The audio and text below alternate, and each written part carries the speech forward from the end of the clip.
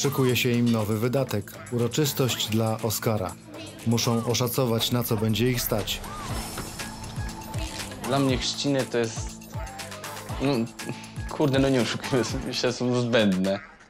E, no ja to robię tylko po to, żeby tam mama się nie, nie rzucała.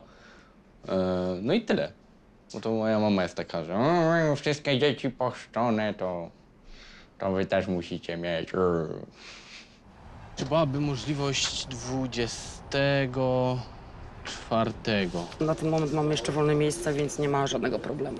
No tak jak pan widzi, warunki są fajne, dzieci też by miało co robić, bo mają plac zabaw fajny, nie? No to mamy o- opcję 95 zł do wyboru, zero sołek albo jakakolwiek inna zupka. Gdyby pan wybrał opcję 95 zł, y, to tutaj pan ma do obiadu kompocik, herbatę i kawę bez ograniczenia. Jeśli by pan chciał wodę e, lub soki, to są już dodatkowo wtedy płatne e, przy zamówieniu. Dobra.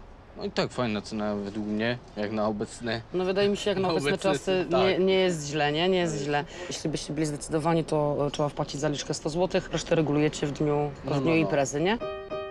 W domu na Pawła czeka Klaudia, która do uroczystości dla syna ma zupełnie inne podejście niż mąż.